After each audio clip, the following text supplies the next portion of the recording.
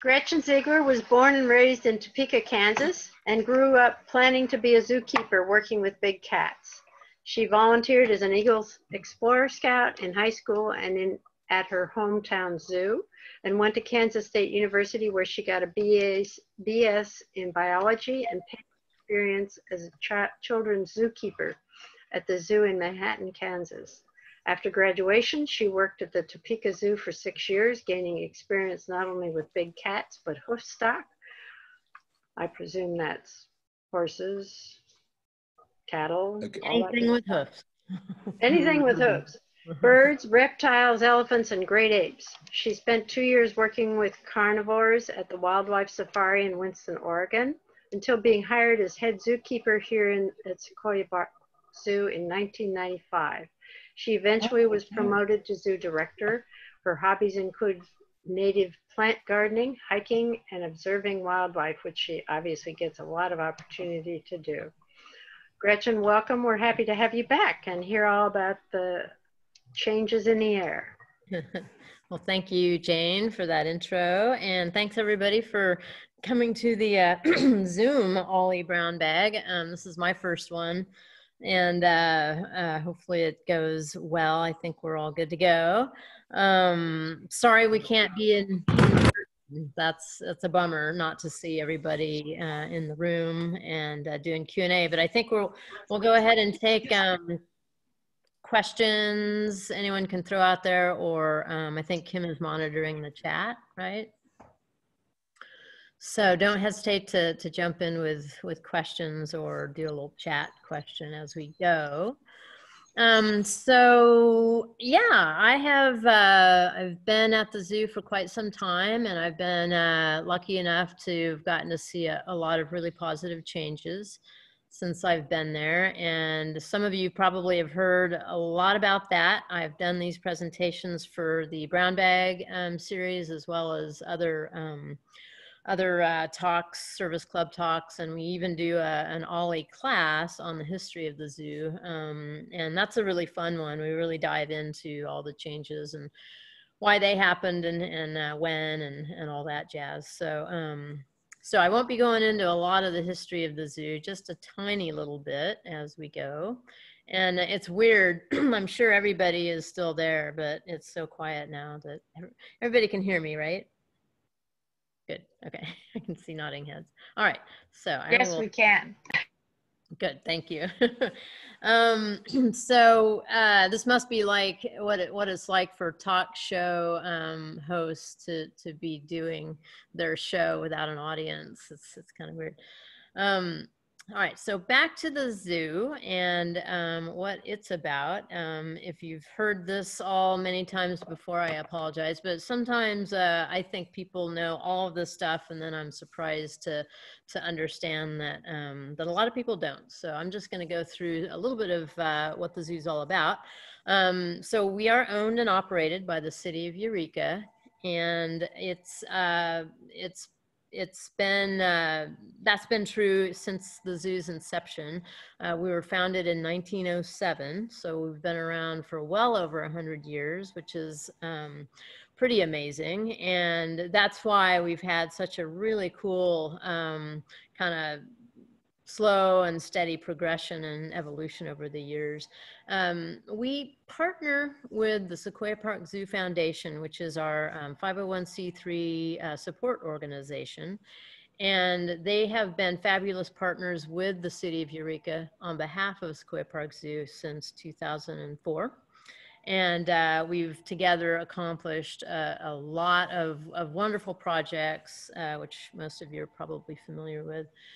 Um, so we are the oldest zoo in California, and we love to kind of say that it's kind of a, a little bit of a, a, claim to fame, even though it sounds unlikely. Uh, and and the stories behind that are really fun. Again, I'm not going to go into a lot of that today, but um, but there's yeah it's it's it's kind of crazy to think that little old eureka has oldest zoo there was a zoo in in san francisco called the Fleishhacker zoo and uh, that's not in the same place anymore and it's not named the same thing. So um, because of that technicality we we are the oldest zoo uh, in California. And again, this is just a, a photo, one photo of many that we have in the archives of what the zoo used to look like. And, you know, it was, um, it was typical of, of all zoos back in the day where you had um, bar cages um, and uh, a lot of concrete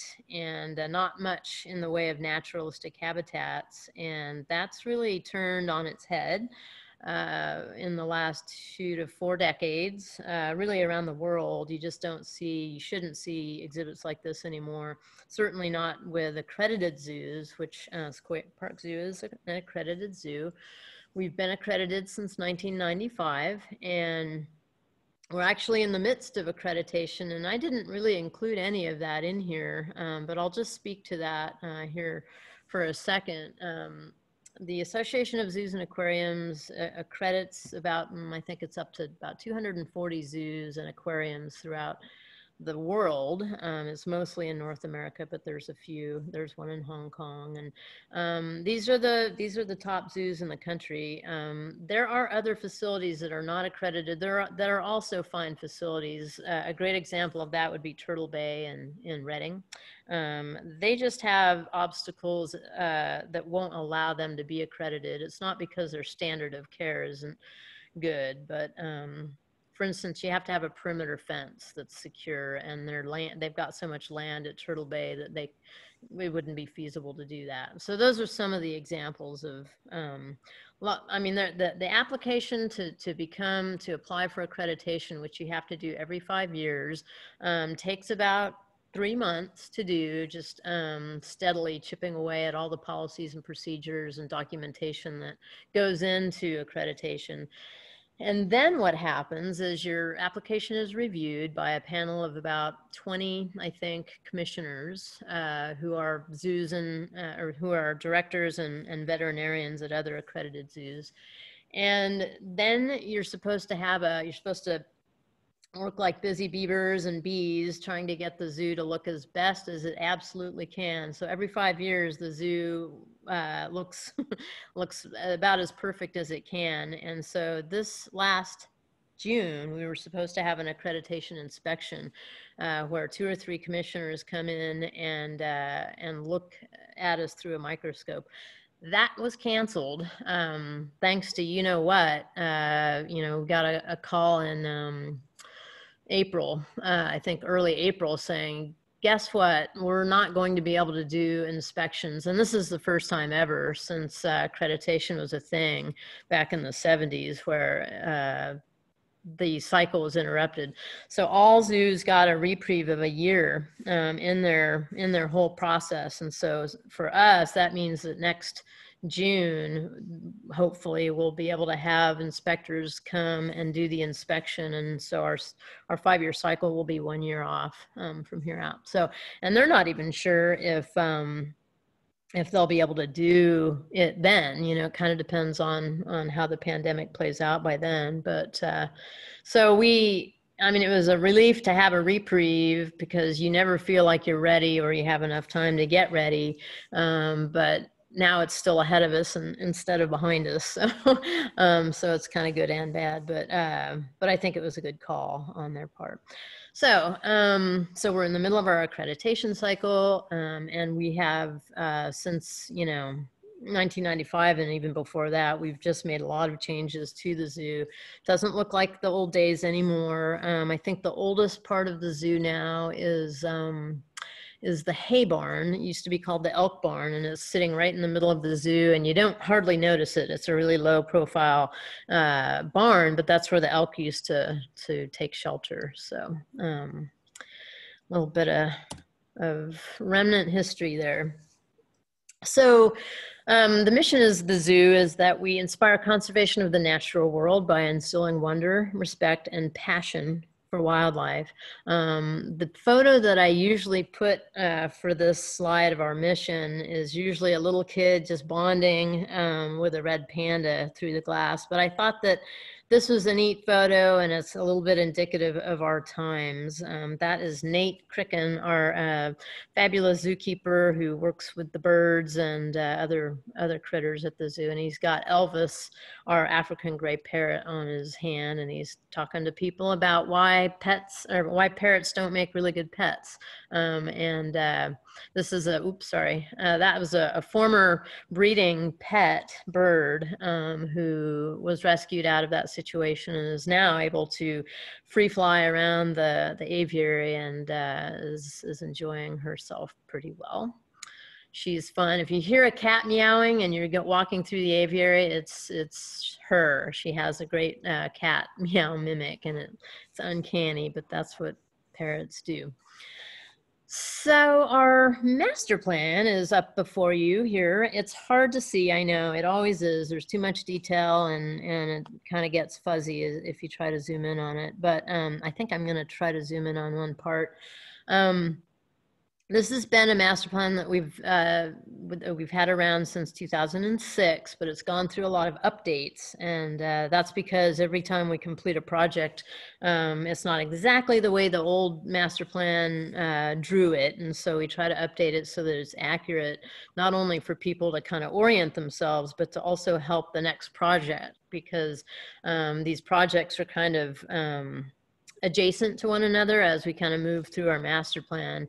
Uh, and we started with, um, well, we started a long time ago, but the latest uh, completed project is the wa Watershed Heroes. And that's right inside the, the entrance of the zoo. It, it's this whole area here. And it's, it's part of a bigger zone or a theme called native predators, which is this little um, chunk of the zoo right here. So a big portion of the zoo's footprint will be dedicated to uh, native animals and, and predators, the story of predators. And I'll talk about that a little bit more. Um, so Watershed Heroes was completed, you know, with the money that we had at the time. And now we're working on two new projects, uh, the Skywalk and the um that's not labeled the right name that's funny i'll have to tell you about that. And then this will be the the bear and coyote exhibit um all, all of this footprint here and uh, we'll talk a little bit more about this. You're also uh, you might notice that there's an interpretive center building right here and we are in the preliminary um concept design phase for a really cool project that's going to anchor all of this stuff in the most amazing way. So I want to talk a little bit about that. Um, but meanwhile, you've got um, you've got some South American exhibits here. That's not really been developed. We've got the flamingos and the peccaries, but eventually we'll have more species there, uh, and it'll um, it'll all kind of be tied together nicely. Here's the barnyard. Um, that's our domestic area, uh, and then right here's the the Asian forest, which is, will be anchored by the red pandas. They're the first exhibit we've got there. We've got a lot of room here for for um, more exhibits like Clouded Leopard and Binturong for that. And then on the north side of the zoo, these are some of the oldest exhibits that we've got. Um, the Spider Monkey and Gibbon exhibits and the old Bear Grotto, which is now housing the, the bush dogs. That will all be transformed to uh, island adaptation. We'll, we'll, have gibbons there and lemurs and um, and things like that. The gibbons will come back. Uh, we no longer have gibbons in our in our uh, collection right now. Um, a super sad, bittersweet, and joyous story uh, that was, and I I don't have that in here either. But if anyone wants more information about that, just chime in. So that's what our master plan looks like. Um, so on to the, the, the really uh, interesting part of the talk and why many of you probably have joined in today is uh, updating you on the Redwood Skywalk. Um, so we've got some photos here. If you follow us on Facebook or if you're a member and you get our e-chatter newsletter that's now coming out once a week, um, you will have seen these photos and more. We've got videos and uh, a lot of, of excellent documentation about this project underway um, uh, than you'll see here. So I encourage you to, to, uh, to look there for some more information.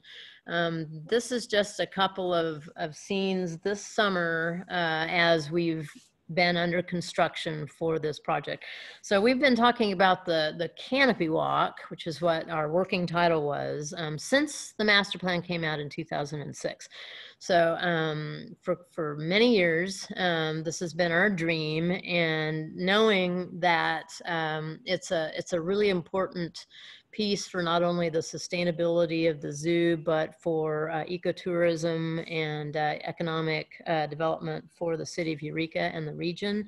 We have done feasibility studies that that have told us that yes, this is a, a feasible idea and in conjunction with a lot of other uh, tourism type um, activities that the city in particular has been planning or has has pulled off um, that this could really be a, a, a major factor in in the uh, um, economic development of, of the region. Um, and given that um, kind of obvious uh, idea, we were able to secure funding uh, very generously from the Lodging Alliance locally.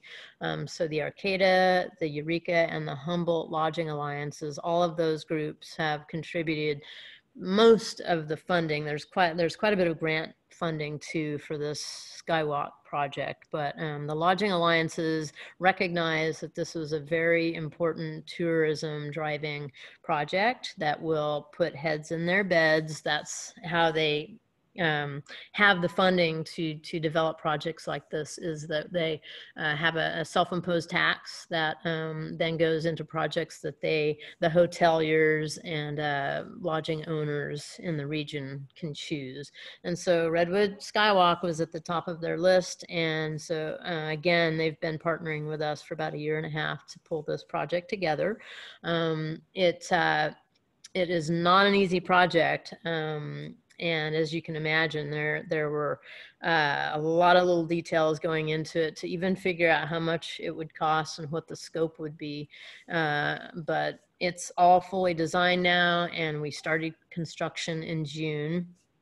Unfortunately uh, the pandemic delayed us a bit so we were supposed to open in June or July. That was our goal about a year and a half ago. And now we won't, uh, we're not looking at an opening date until uh, the beginning of November, which is pretty unfortunate um, for the time of year and the season uh, and visitorship. But again, given the pandemic, um, it might actually work out in our favor or um, in everybody's favor that we're not going to be a big grand opening splash um, to get a lot of people through our gates. So we're still trying to problem solve that. But um, this view on the left um, are uh, is a family looking at some information that we've got up about the project, and then just behind that is what used to be the yak paddock, um, and it now um, is a construction zone, and the animal portion of, of that space is, has gotten smaller uh, and further to the south. And uh, you'll be starting the Redwood Skywalk experience up at the top of the hill, the only hill in the zoo, which is um, overlooking that, that paddock. And there's, it's kind of anchored by three kind of juvenile redwood trees um, that provide a beautiful gateway to this uh, skywalk experience. And so right where the people are standing on the uh, right-hand side of your screen is where you'll start that experience. Um, and it's, it's more developed than this now, even this was taken about a month ago. So, um, so about the Skywalk project, um, we have, uh, again, we've got a great team assembled to, to, to pull this off. And from the get go, our main goal was to, you know, celebrate and get people engaged with the um, incredible uniqueness of our redwood. Uh, I knew that would happen. I stop that. um, sorry about that interruption. Um, to to get people engaged with what's going on, especially in the in the upper parts of, of a redwood forest, um, and also to ensure the the the health of this forest. We don't want to celebrate it to death or love it to death. Um, but actually that's what's happening at in sequoia park that is a beloved city park um, it's been heavily used and and more so every year by people who just um, love it and it's really impaired. Um, and we've we've assembled a team of of arborists and arboriculturists who uh, are either redwood experts or tree experts in general who have um, done some extensive studying and, and analysis of Sequoia Park and have identified trees that are um, not healthy, have identified other trees that are. Um, they've identified trees that are suitable to attach to. Um, they've weighed in on the whole issue of whether or not we should attach to the redwood trees versus um, erecting freestanding steel towers. Uh, long, long ago in this whole design process, we we landed on that the best thing for the trees themselves and the forest itself is to attach directly to the redwood trees um, and that that protects the root zone uh, down below. And the root zone is actually one of the the things that's most impaired about Sequoia Park because it's so heavily trafficked by foot, uh, a little bit by by automobile and truck as well. But um, there's a lot of volunteer trails or rogue trails um, that just get you from point A to point B in the quickest route possible, and it's often down a steep slope. You've all seen that out there, um, and that really creates a lot of uh, root damage and uh, erosion of soil. It goes right into that, excuse me, that waterway, which is the uh, headwaters of Martin Slough. Uh, and Martin Slough, if you're familiar with that, there's a project that, that has occurred down uh, in Martin Slough before you get to Elk River um, that is enhancing coho rearing habitat. And, uh, and it's a really important component of, of the uh, salmonid biology and, and uh, uh, recovery here on the North Coast. And the last thing you want to do is is create a lot of erosion uh, in that waterway and so one of the goals for this project was to to have a net uh, positive impact on the forest. And we're hoping that you know by ha- encouraging people to come to the zoo and take this experience up above uh, that it might even eliminate some of that foot traffic down below. But in the meantime we have taken care to um, to try and do our best to eliminate some of those really damaging trails. This is an example of one to the right. Um, so so a couple of things that happened at the beginning of the project back in probably it was more like May, June, um, was to create uh, wildlife habitat. And so there were several, uh, I'd say a dozen or so um, trees in the forest at this project site that were hazard trees or considered hazard trees. And again, these are these were analyzed by uh, arboriculturists who who know their business well. Um, almost all of them are white fir, and that's a white fir there that is now becoming a snag. So these there were living firs that were starting to approach the end of their lifespan. They don't live obviously as long as redwoods by any means, and as they get older and weaker, they tend to fall over. And a lot of the damage that we've had in the park and in the zoo has been from a windstorm that has toppled these white firs. And so we've over the decades have been taking them out strategically so that we don't um, have a, a catastrophe. Um, and so we certainly didn't want a catastrophe once the Redwood Skywalk was in. So we had a tree service come out and um, you know, at first we thought, well, we've got to take them out at the base, and then we realized that, you know, what um, trees, tree, uh, dead trees are, are critically important habitat for all kinds of wildlife.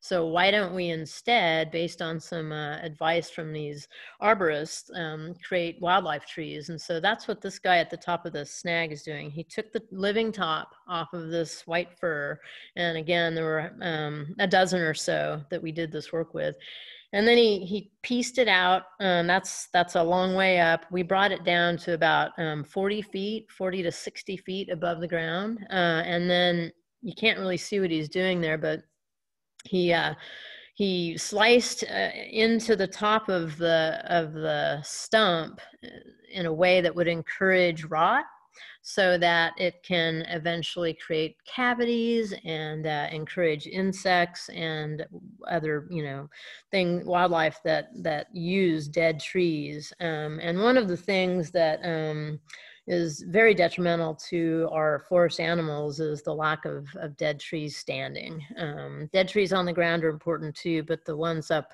in the air are, are vitally important. So we've now created some snags. They're not going to come back. They're not like redwoods, where if you top them, they're just going to sprout elsewhere.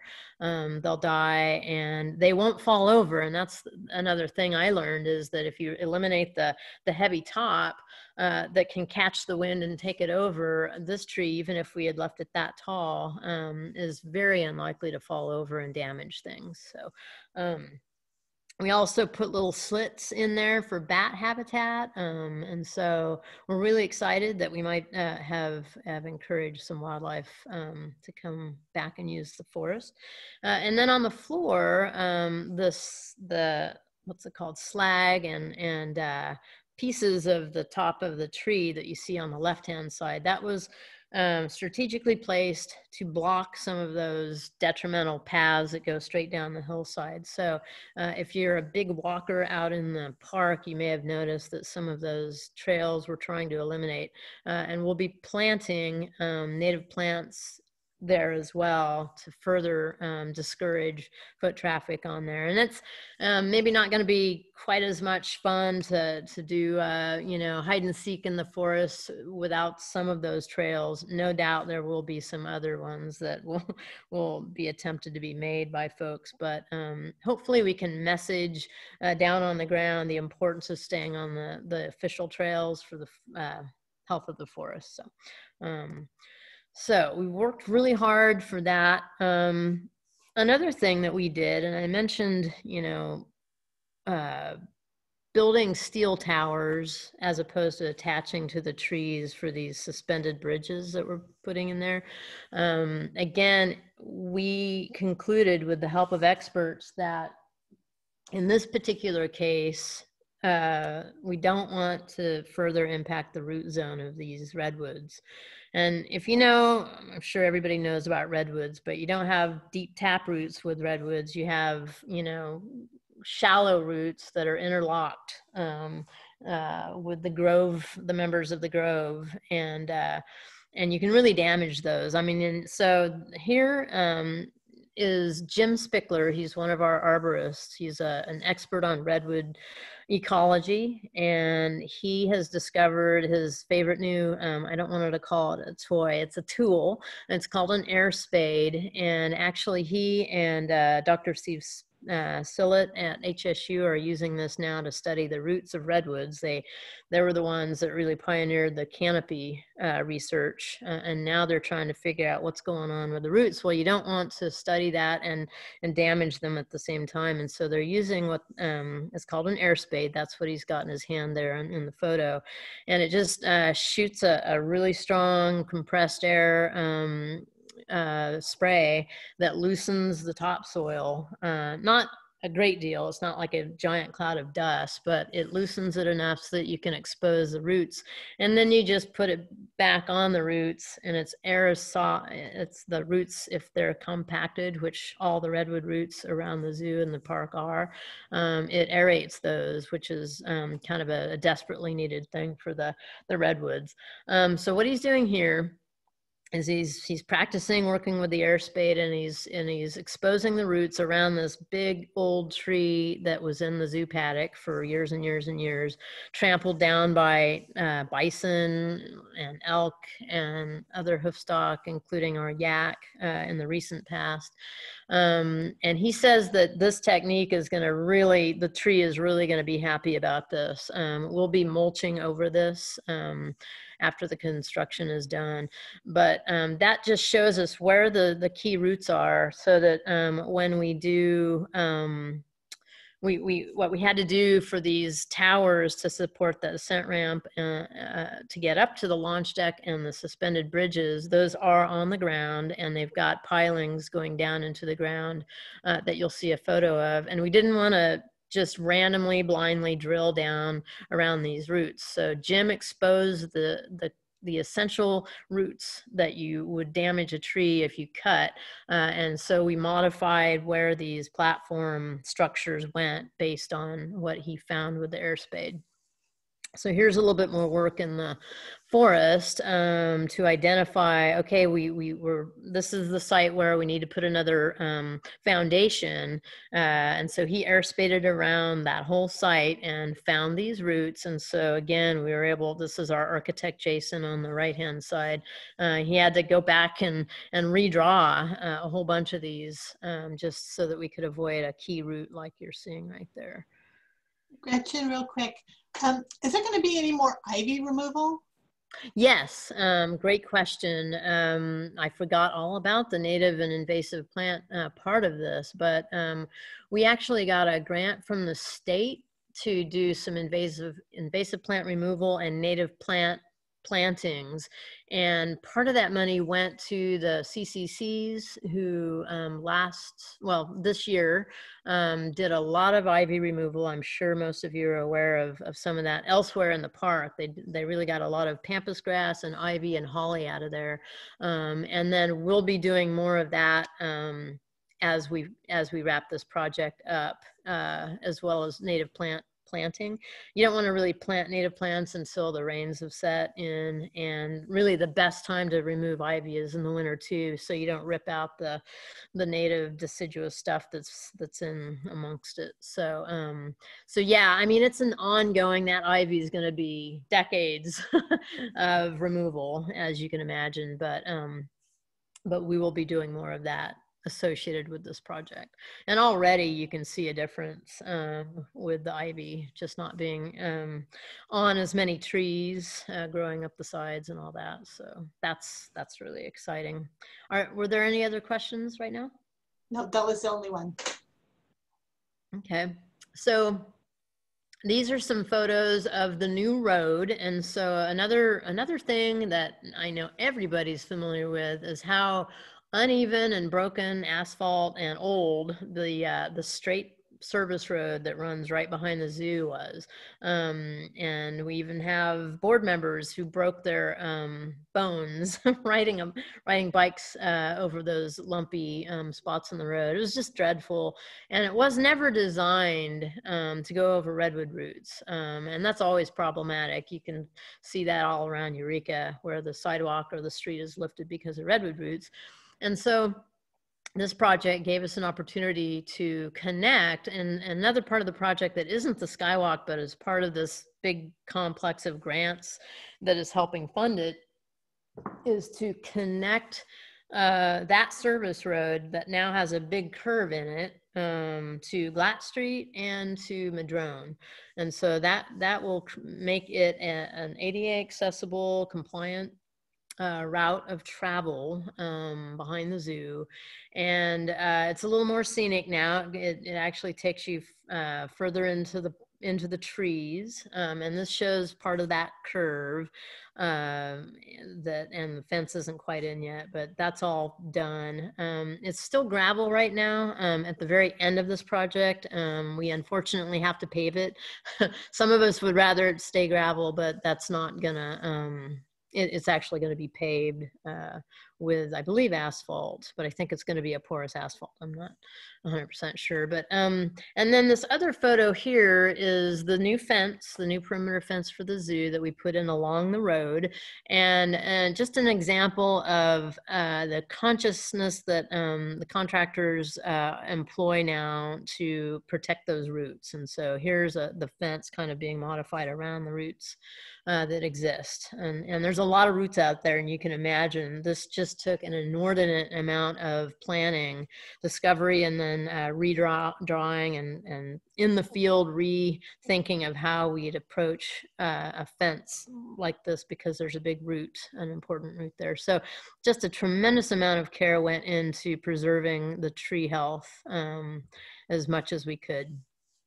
So here's some construction shots. Uh, there's there's work up in the trees. If you've gone out there lately, you've seen people in the trees all over this area. Um, that's Synergo is the company out of Portland that is creating the Skywalk itself. Um, they're experts. They've done projects like this all around the world. This is the first one in the Redwoods, though, and it came with a whole set of unknowns and uh, you know, uh-ohs and oops, didn't anticipate that kind of uh, of issues that we've worked around. It's just taken a long time to to really figure out how to make it work with redwoods. Redwoods aren't as strong as a lot of the other trees that they've put um, canopy walks in, and so uh, there's there's ending up going to be more attachments to each tree than originally was planned. But again, the arboriculturists feel very confident that the trees uh, will be fine with those attachments. So up up in the air, the the the platforms and the bridges are going in, and down on the ground. This is the uh, kind of the framework and foundation for what's holding up these towers that take you up the ascent ramp to get to the launch deck and so forth. Lots of work. And the folks down on the ground that are doing this work um, are with uh, Sequoia Construction, which is a local um, fantastic company that ha have just been wonderful to work with. And they're the ones building these little towers that are actually sitting on the ground. Um, so here, they, they finally decided that they'd go ahead and build some of these towers in their shop because they had more room than they did uh, on site. So they, they built this at their shop on the left and brought it in and, and got a crane to lift it up and put it on the foundation.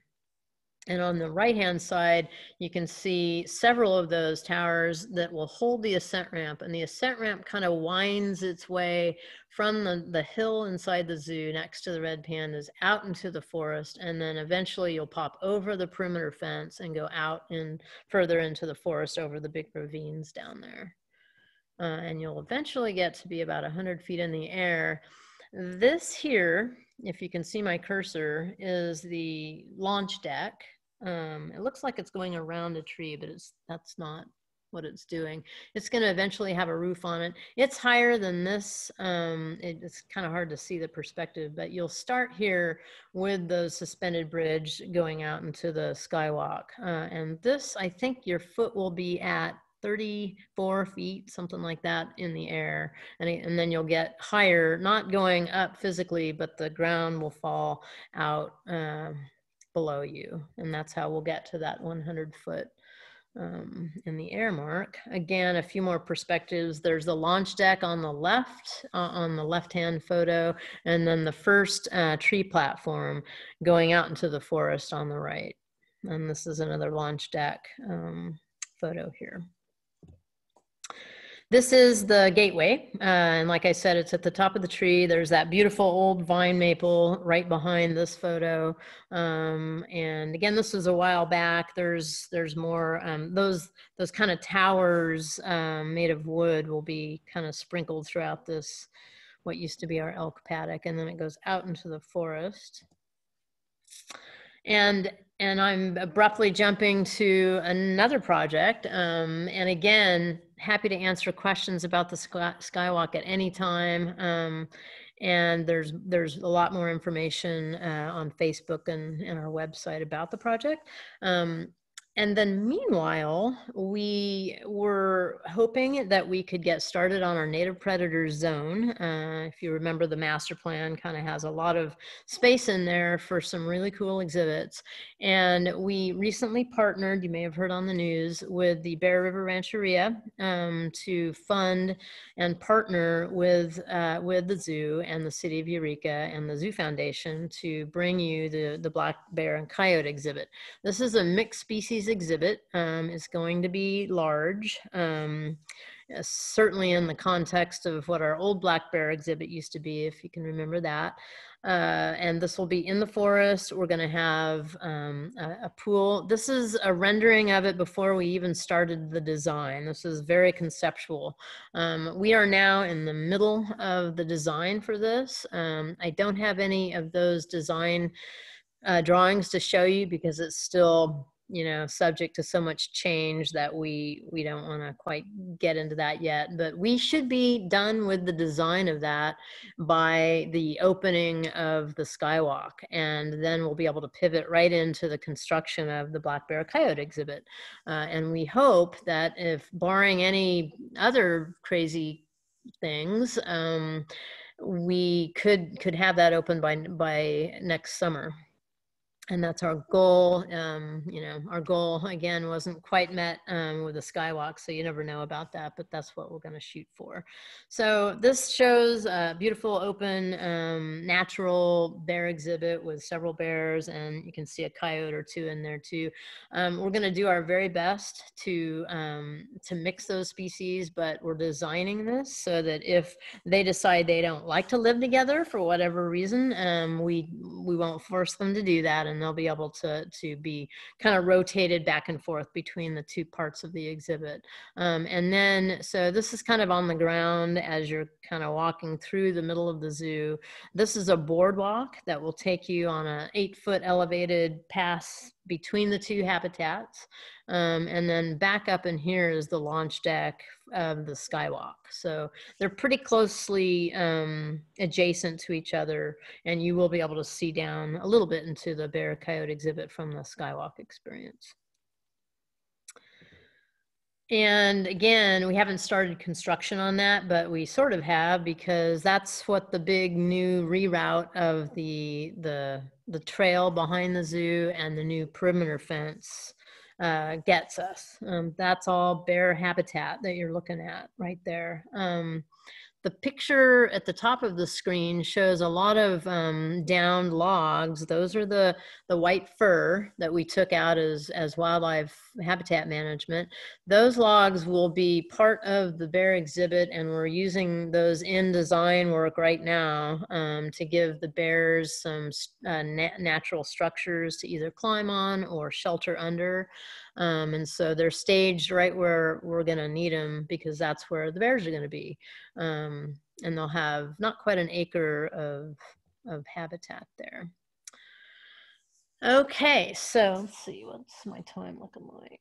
Okay, um, just got a little bit of pivot to do here, as you can see. Um, I'll uh, talk to you a little bit about how the pandemic has affected the zoo. Um, so there's our our favorite mascot, Super Salmon, and she's imploring everyone to wear a mask. Um, and uh, we got her to wear a mask, but she didn't like it much because the person inside that mascot has to see through the mouth. And so that was a, oh, one of those head slap moments that we're not going to be able to have our mascot walking around with a mask on because the person running her inside can't see. but one of those, who would have ever thought of that um, kind of snafus? But anyhow, she's still our mascot and, and, and uh, everybody loves her and hopefully uh, is modeling some good behavior. Um, we closed uh, March 17th um, and uh, and didn't reopen until uh, a few days before the 4th of July, um, waiting for you know permission from the county and the state, and uh, had to go through the opening plan with the county, and um, that gave us an opportunity to kind of see how other zoos around the country were doing this and it's it was not easy to figure out how to get people to have a, a safe and fun experience at the zoo and sadly you know there's a lot of things that you can't do at the zoo right now. Um, we're looking forward to the day where we can reopen some of these things, but um, for now,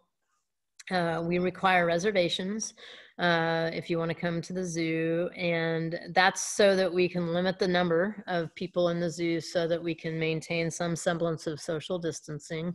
Um, so we tried to, to create a whole formula of, of how much square footage we have and what that six foot distancing looks like and, and uh, what our pinch points were and how we could do one way traffic flow and how we would you know, queue people up to the ticket booth and how we would uh, staff it so that we could disinfect two or three times a day and uh, on and on and on. And so it, um, uh, it's it's working. Uh, we we have, and the photos that you're about to see don't show almost anybody at the zoo. We, we've had great visitation, um, a lot less than normal, as you can imagine, because we have to do it that way.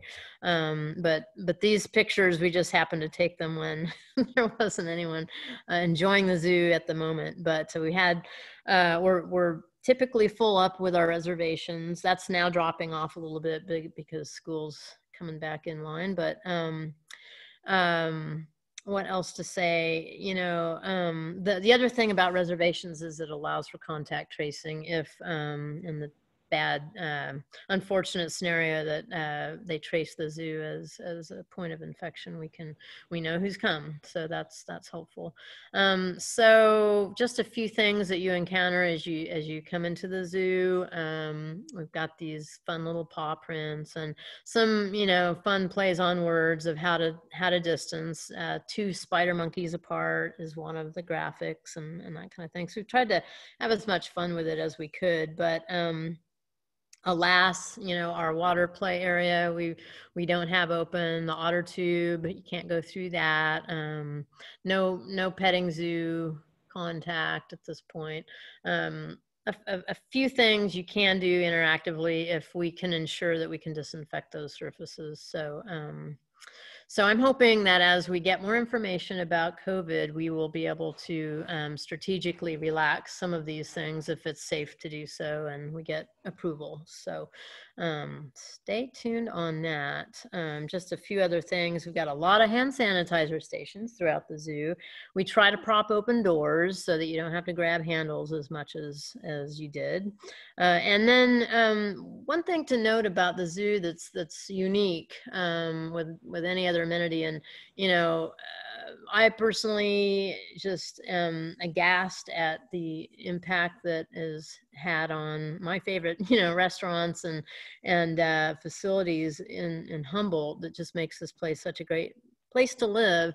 Um, at the zoo, we actually have a, an additional challenge. Not only uh, are we massively impacted budget wise, as is everybody. But um, we actually have animals at the zoo that can contract this um, this SARS uh, uh, virus. And um, those include the primates, as you can imagine. So we erected another barrier that just gives a little bit more distance between people and our spider monkeys. Uh, the tamarins are, pretty safe the way their situation is already set up, but the otters are apparently uh, susceptible as well. And so we've had to kind of um, modify those view stations in various places. So um, so zoos zoos and aquariums they they're in trouble uh, as you can imagine all over the country because we can't um, we can't eliminate a lot of staff. We did lay off um, or um, furlough actually um, a lot of our support staff that are here for people, um, but half of our staff or more are um, are there to take care of the animals, and we're not furloughing the animals, and so it still is uh, very expensive to run a zoo or an aquarium. And the bigger you are, you know, the more impacted they have been in this pandemic uh, because they rely so heavily on revenue uh, for gate admission and things like that. So um, we are the same. The city of Eureka is in dire straits with the budget, and we've had to make the biggest budget cuts of my career here, um, and we're still struggling. So um,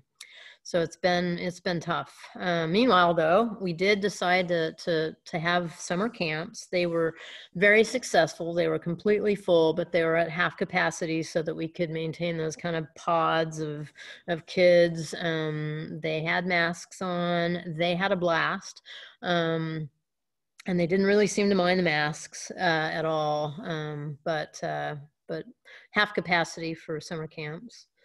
Um, and then uh, not to do at all with with the pandemic um, we have been also working on modifications and remodels to our entry pavilion uh, these are two old shots um, of very crowded cramped uh, indoor cafe seating and then that gift shop just tightly packed into a very small space behind. Um, and then our, our old ticket booth here. Um, over the winter, we were able to, we eliminated the Secrets of the Forest exhibitry on the other side of the entry pavilion and created a new gift shop there. We've got about three times the space. Uh, it's actually compliant uh, with various codes now and um, a much more pleasant shopping experience. It hasn't been open a lot um, because of uh, COVID, but um, it's it's open most most days and hours that the zoo is open, uh, and and it's it's great, and it's a revenue generator for the zoo. Um, meanwhile, the cafe is now expanded all the way into that space, the indoor cafe seating, and another major change with our operation is that um, it's it's under new management, and we've leased the operation of the cafe food service to um, uh, Christine Silver, uh, who is the owner of uh, Delish on Fifth and Humboldt Soup Company, and um, what's the other one? Uh, the eatery at Sixth and E, and um, she is she's very successful. She's even been successful during the pandemic, and um, and this was in the works before all that hit, and then it really just got um, uh, impacted greatly mm, by that. It doesn't look anything like this, and I wasn't able to get in there to take um, new photos because I, am in isolation because I, I, traveled out of the county within the last two weeks. So, um, what she did in here is just amazing. You've got to come in if for no other reason than to see the inside of the cafe. We can't serve people inside right now, um, but uh, she's got beautiful murals that um, um, Blake Reagan did. He's the uh, Eureka Artist of the Year of 2019. He came in, and on that wall where Bill's art is hanging, at the back of that picture is the most beautiful mural of Bill uh, contemplating a river with Mount Shasta in the background. I wish I had a photo to show you, but um, but you'll have to come in and see it. And then on the wall opposite is this is only partially done, but a beautiful tree with red pandas in it and all kinds of native animals peppered around. Chester the cat made it in there, and that's just the neatest thing. Um, she's rebranded the cafe. It's called Ecos Cafe now. And again, I, I, haven't been able to go in and eat lunch. She just opened about a week and a half ago, and rave, rave reviews of of that kind of food. It's it's pretty traditional uh, menu, but she's starting out slow, and then um, you know, as success happens for her, she'll expand that menu. But I hear it's fantastic.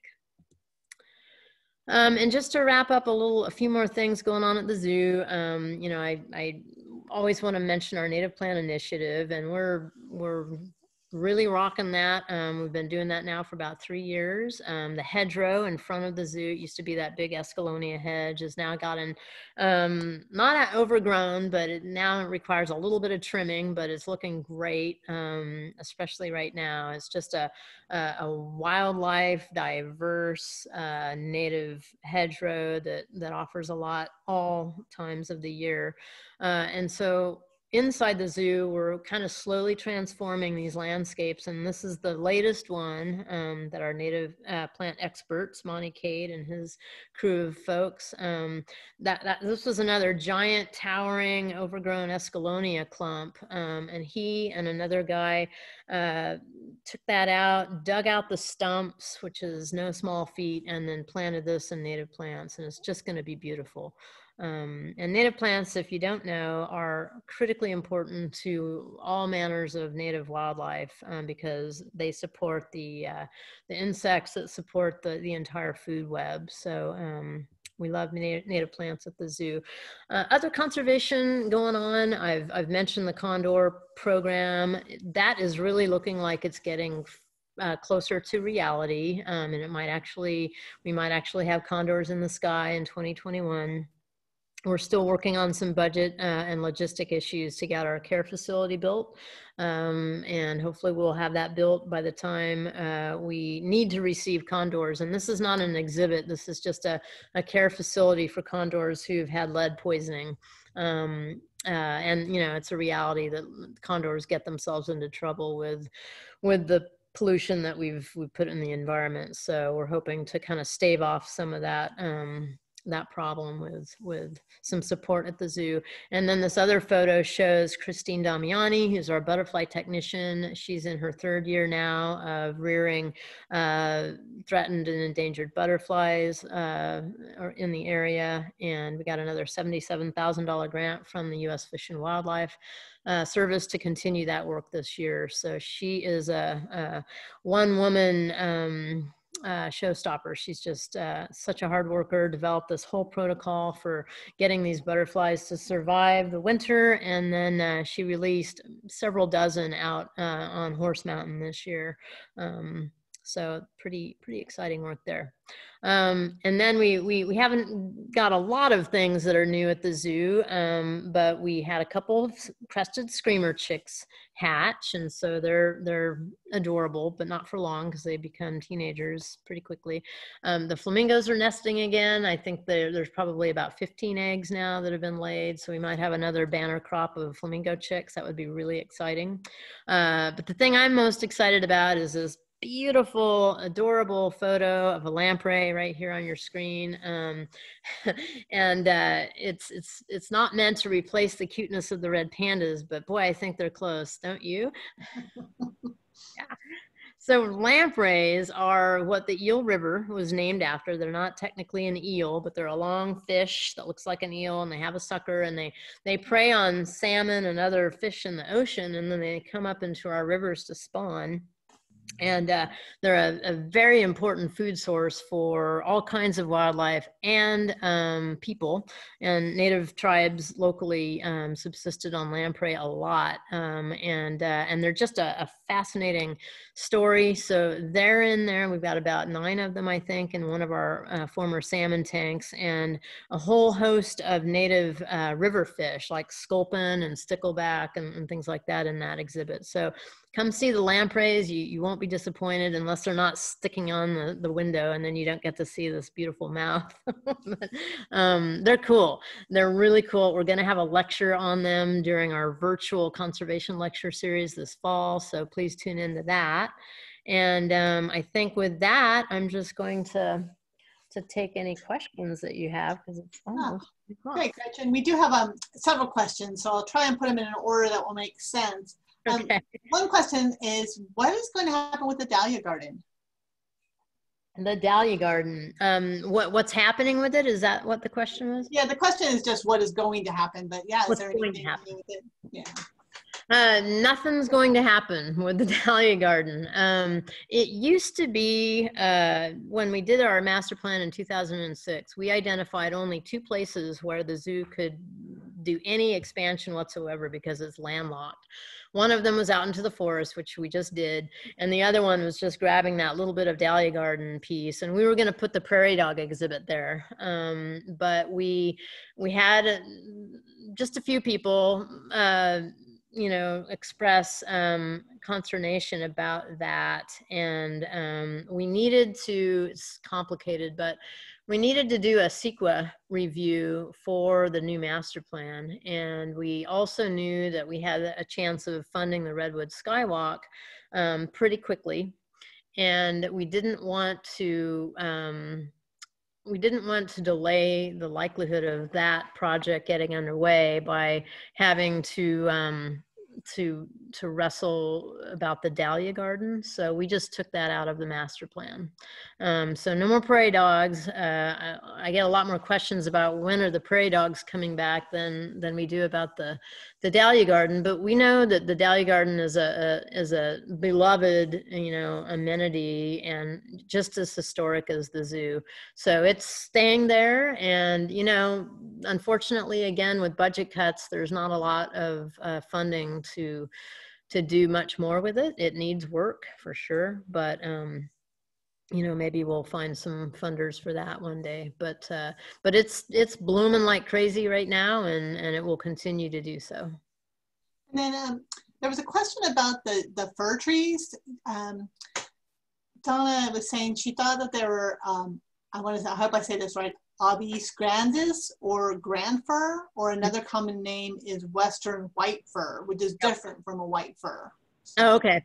Well, I should have said Western White Fir. Grand Fir is what I used to call them, and then the project folks are always referring to them as White Fir, so I sort of changed my my description of them. But yeah, there's there's a lot of different names for those. They're the ones with the the kind of whitish pink bark, um, and uh, and so that's that's the correct um, terminology. It's the, those grand fir that we took out. There were a couple of redwoods, one of which, and I meant to put this in the, the presentation and I forgot, but there was a big old uh, kind of impaired redwood right at Glatt Street uh, that's gone. You can see the stump there. They had to take that out to connect Glatt Street with this new trail. And it was also uh, not ADA compliant. It was pushing up all kinds of um, sidewalk issues and uh, had been kind of hammered with trimming. Um, and so that was the the the main redwood that had to be eliminated from the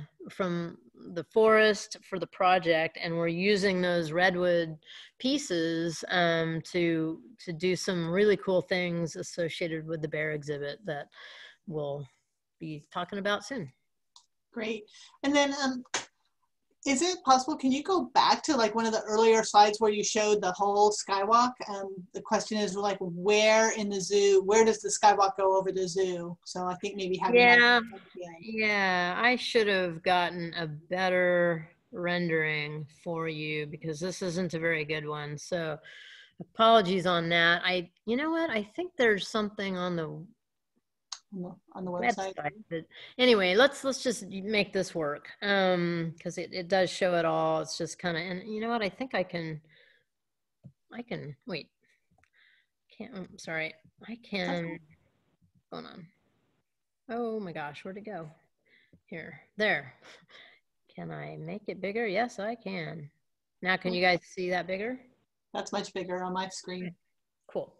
Oh, and, and I didn't talk about the interpretive center, so I can do that too. So um, here's the Watershed Heroes. This is the otter exhibit, and you walk along, and uh, and this is all construction now. Um, this is where the bear exhibit's going to begin, more or less. Um, and you're one day going to hopefully encounter a, a fantastic, the coolest Redwood Interpretive Center uh, ever conceived. It should be going right there. It's going to um, require a lot of fundraising and, and design work, but we're, we're starting that already.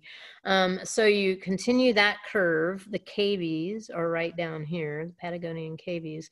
And then you climb this hill which is where the um, vine maple is in the middle of that planter. And you, you take a right and you'll be going out onto this ascent ramp is what we call it. It'll be flat right here. And then it will go at a, at a gradual, less than 5% grade, wending its way around all these trees um, all the way. And here the blue line is where the, the edge of the zoo is. The new perimeter fence starts right here.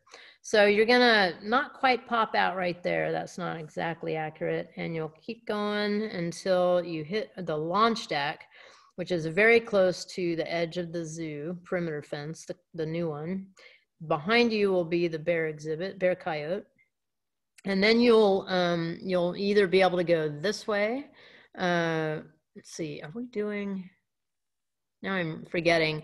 It was that it was all going to be um, 100% ADA accessible, and we had to do some uh, some reevaluation due to our budget. So this is going to be more of an adventure leg out to here. So that will not be ADA accessible. This will be fully ADA accessible. So no elevation changes along here.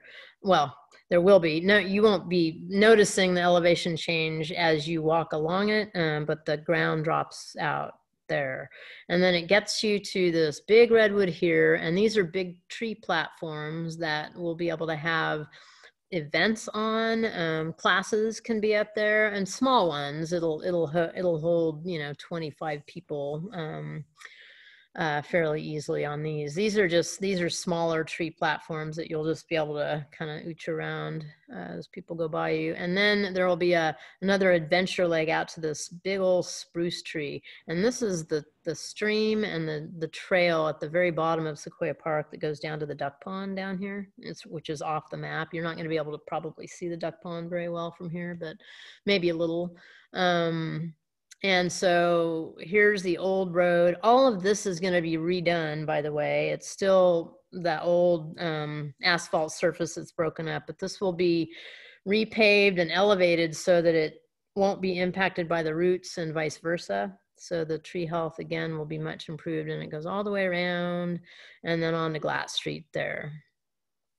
So hopefully that answers that question a little bit better.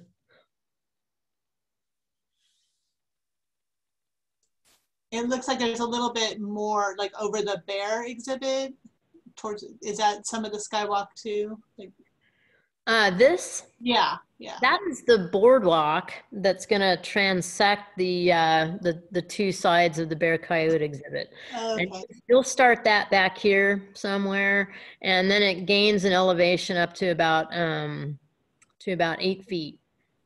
Uh, so that just gets you kind of through the coyote exhibit. They'll be able to pass under it. Uh, and, and this is still a concept. Um, we are now designing this whole space, and so it'll look a little bit different than what we're showing right now, which is why we have to update the master plan uh, each project because you know concept and, and actual design are two very different things, especially when you're trying to, to design something in the middle of a redwood grove. Um, it's like, oh, this is the perfect place for a bear night quarter, but um, but there's a giant redwood in the in the way, and we're not going to eliminate redwoods for this project. So anyway, um, there's a one comment that says that they, um, I miss the prairie dogs, which I do too. we all love the prairie dogs, right? And then um, when do you expect to have the gibbons and lemurs? Um, that's a great question. Um, you know, the Skywalk is underway. The Bear Coyote exhibit uh, is next, and then probably the very next thing that we want to fundraise for is this interpretive center.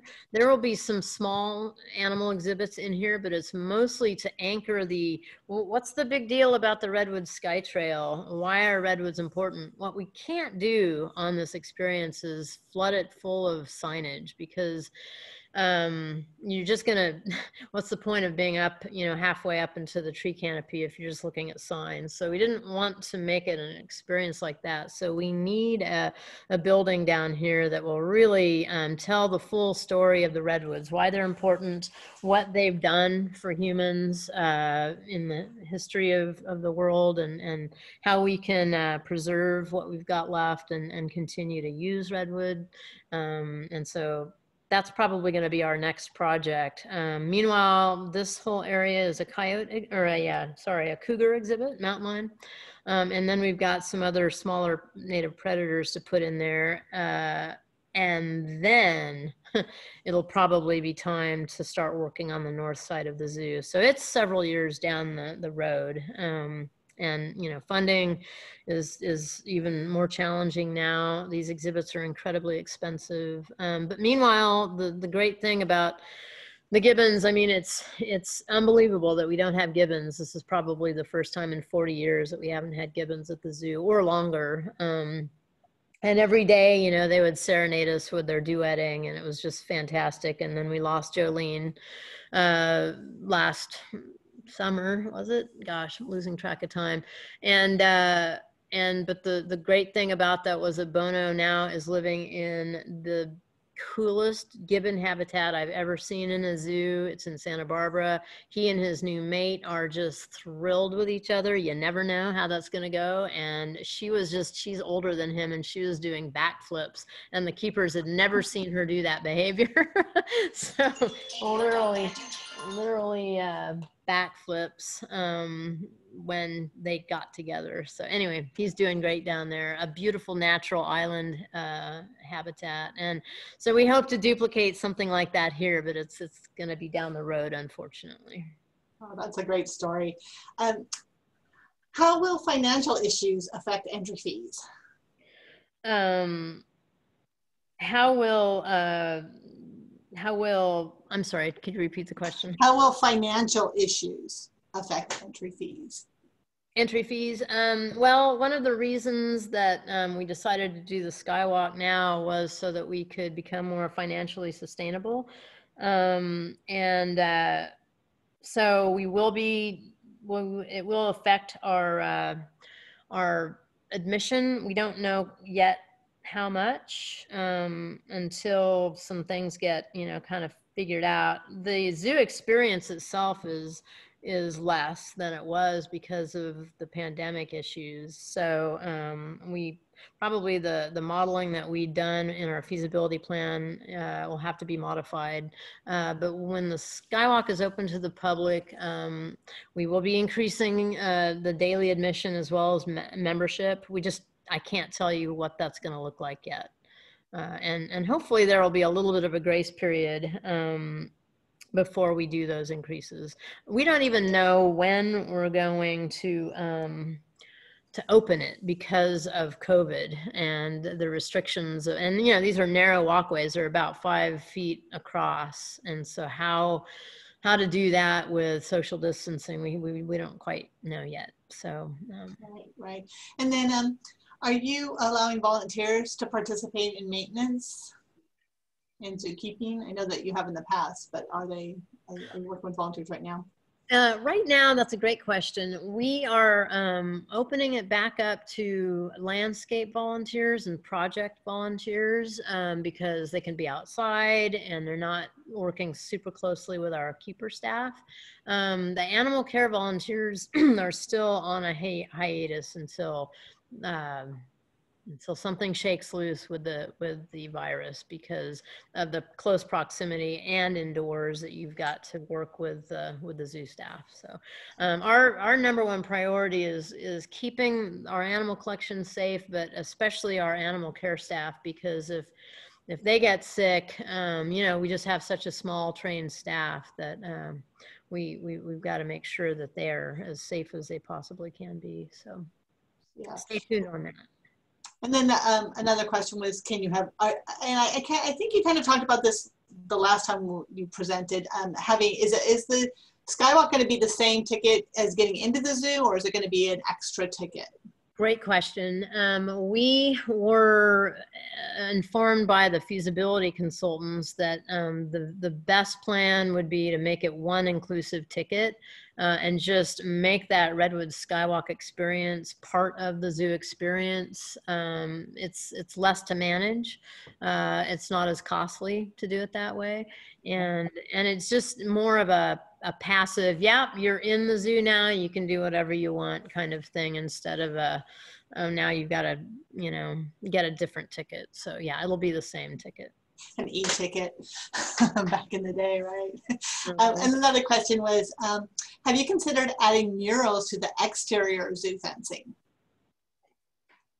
We have considered that. There's some pretty cool um, fencing that you can get for that. Um, a lot of the fencing is is covered or will be covered by by vegetation, but um, but it's got to be really good artwork, and that's not uh, a, an inexpensive thing to have. So um, what we were really hoping we would have by now was a beautiful zoo themed mural on W Street and Harris. There's an intersection there where there's a, a private residence that has a, a, a concrete wall that gets tagged a lot.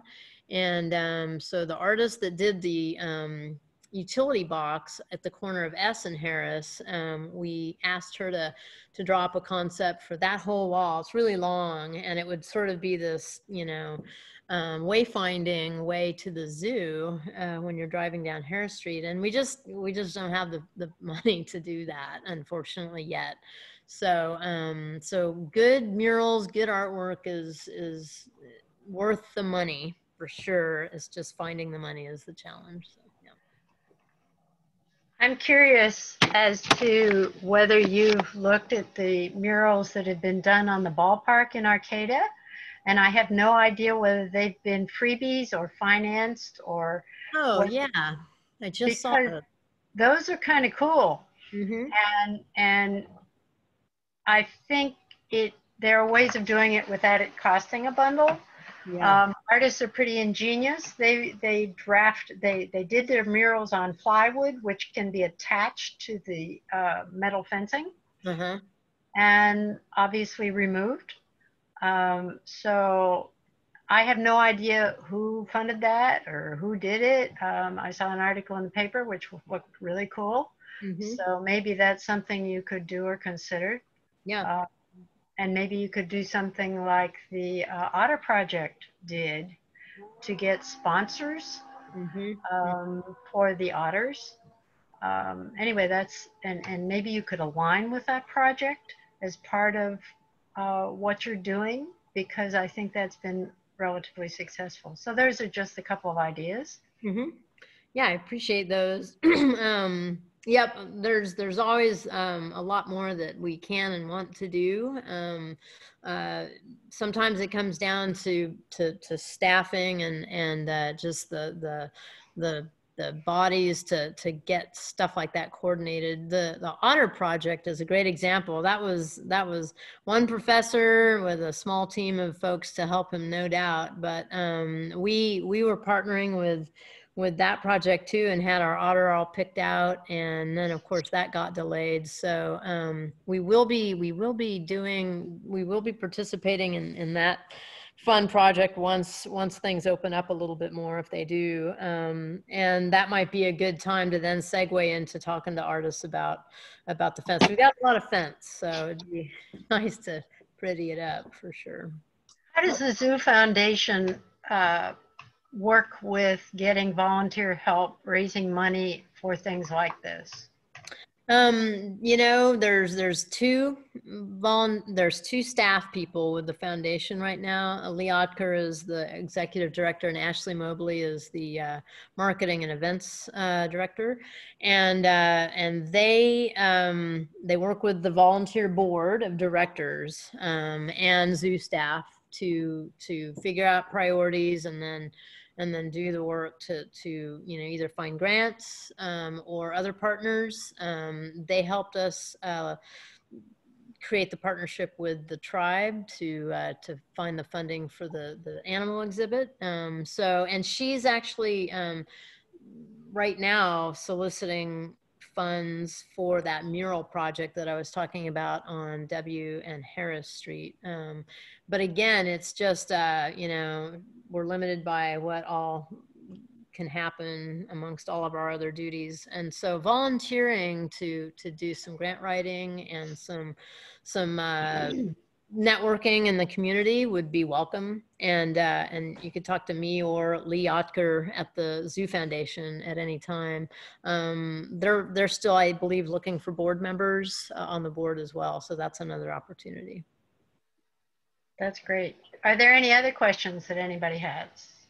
Well, Alex was asking how much how much would it cost to get some of that um, that artwork done, and, and then- Um, that mural, uh, let's see if I can recall right, was something like it's a big it's a big wall and it wraps around the corner. Um, so I believe, and it was it was a beautiful design that had a lot of detail in it, and I believe that was going to be around seven thousand dollars, six to seven thousand.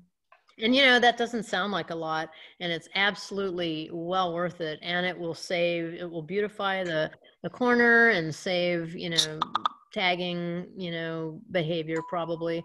Uh, and we don't we don't have that. We don't have anything like that kind of um, money to, to spare for that. So, you know, it's it's a matter of where where you you know focus your priorities. Uh, but she's ready to roll on that project as soon as we find funding. So we've been talking to some Rotary clubs and the city of Eureka. They thought they had some money, but they don't now. So. Um, well, hopefully you'll find that money because that would be awesome. it would. Um, we will. I don't even want to ask this question, but I'm going to ask anyway. Gretchen, are you still planning to retire early? Well, I wondered if that would come up. Um, I already have, as a matter of fact, uh, uh, and that was, you know, that was a decision that um, wasn't made lightly, that's for sure, and it was unexpected, but it was a budget-driven issue. Um, so I am now semi-retired, um, working only half time, and uh, going to be working on other projects now that aren't associated with the zoo. But um, but for the next year or two, I will still be um, working on a part-time basis with the city for the zoo. Who does the majority of your grant writing? Uh, myself and Lee uh, do do that. Uh, there's also some staff support with our community services department with the city of Eureka that Donna Wood heads up now. And I'll tell you, Donna Wood, she's the new interim uh, director for the community services department. Uh, Miles is now the interim city manager. Both of those folks have been really good at finding and winning grants. Zoo staff have as well, but I think together that is a, a pretty powerhouse team um, to find the, the higher level um, state grants, state and federal grants. So we're, we've got a few in the queue that we're lo looking at really closely. The smaller grants tend to um, we just we have to go okay do we have time to do this or or prioritize that? So smaller grants are are the ones that um that sometimes don't get the attention and can really make a big difference. Um so those are those are the ones that we can really use some help on i think. Great. Well gretchen you have been wonderful. You've done a fabulous job. You've had a great you and the people that you work with have had a great vision for the zoo, and it's very exciting. And we're really looking forward to seeing it materialize in reality. And yeah. everybody who wants to clap, now's the time because we appreciate everything you've done and look forward to your future here. Well, okay. I as well. Rah, I can see everybody.